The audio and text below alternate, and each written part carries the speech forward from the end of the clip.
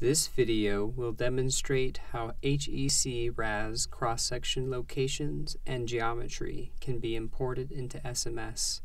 It will also cover how that information can be used when building a terrain model. We begin by opening the model in HEC RAS. We can see that the model has many cross-sections defined over the length of a river reach.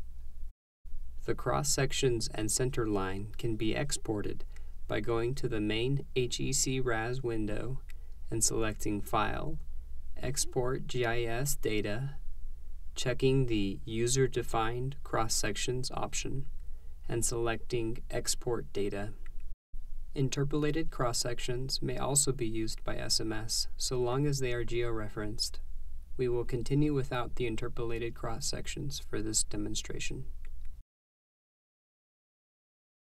If we navigate to the file directory where these files were saved out, we find that HEC RAS has exported an SDF file. The SDF file contains the geometry information for the river reaches centerline and cross-sections.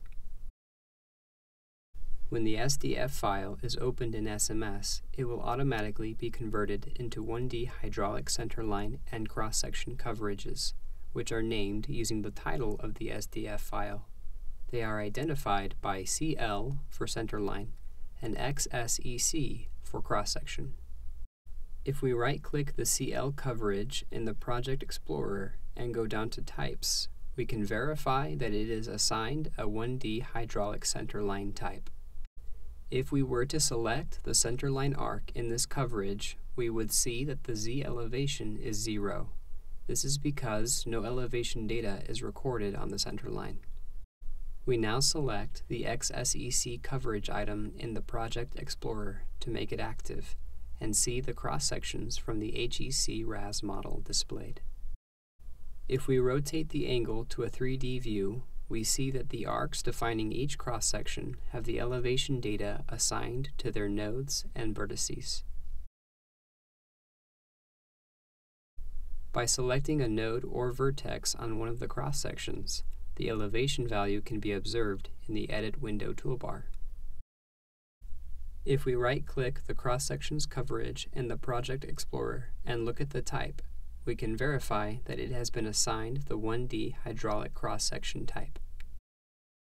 So we see how easily an HEC RAS model can be imported into an SMS project and converted into 1D hydraulic coverages. The coverages can now be used with a summary table, which is demonstrated in another video, or simply to use as a reference. In cases where there is sufficient data, the cross-sections can be converted to a scatter set and used as a terrain dataset for building a 2D model. This is not the case for the model we are using, but we will continue anyway in order to understand why, as well as highlight some common problems one could run into. A 2D scatter set can be created from the cross-sections coverage by right-clicking the coverage item in the Project Explorer and selecting Convert, Map to 2D Scatter. The following dialog gives options for how the cross-section arcs will be converted.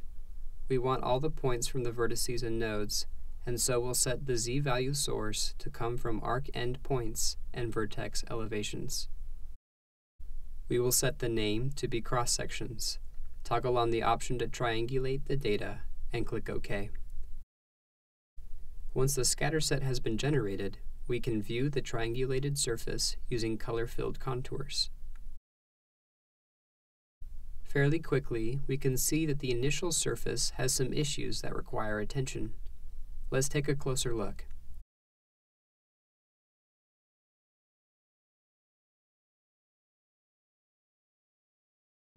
By turning on the display of scattered triangles, we can see that the distance between cross-sections and the density of points along them has created triangles which are stretched long and thin.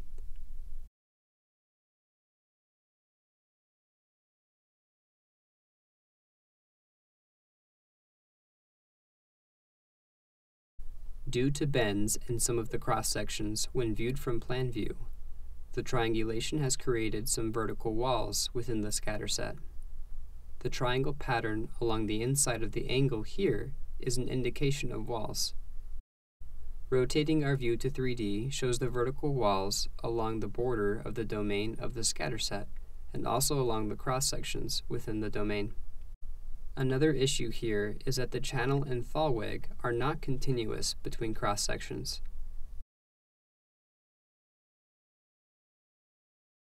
Vertical walls along the outside boundary of the scatter set can be removed by selecting and deleting them manually using the Select Triangle tool.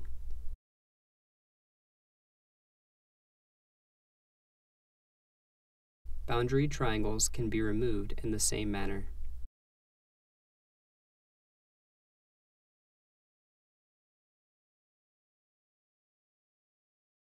Those walls that formed along the inside of cross sections within the scatter set can be corrected using break lines.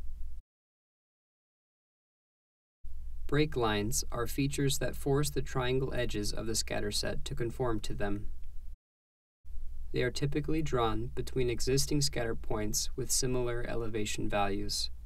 The triangulation is then adjusted by selecting the Force Break Lines command from the Break Lines menu in the toolbar. We can see how the scatter triangles adjust to conform to the break line and the vertical wall is cleared up.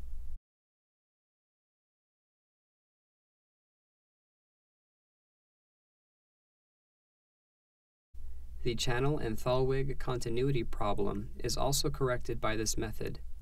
Break lines must be added to note the changes in Thalweg location between cross sections for the data to be of valid use in a terrain dataset.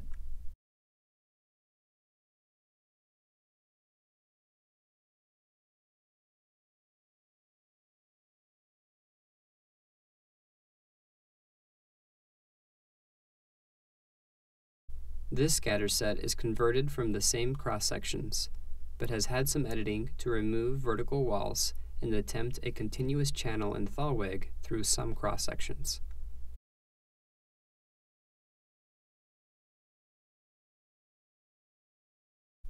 The reason why these cross sections are not enough to build a terrain model by themselves is made more apparent by showing the centerline coverage the interpolated surface between the cross sections cannot give a good representation of the Thalweg and channel. For a good terrain model to be created from cross sections, the Thalweg needs to be accurately represented and continuous throughout the model domain. This concludes the Using HEC RAS Geometry with SMS video please visit the Federal Highway Administration's website or the SMS Wiki pages to learn more.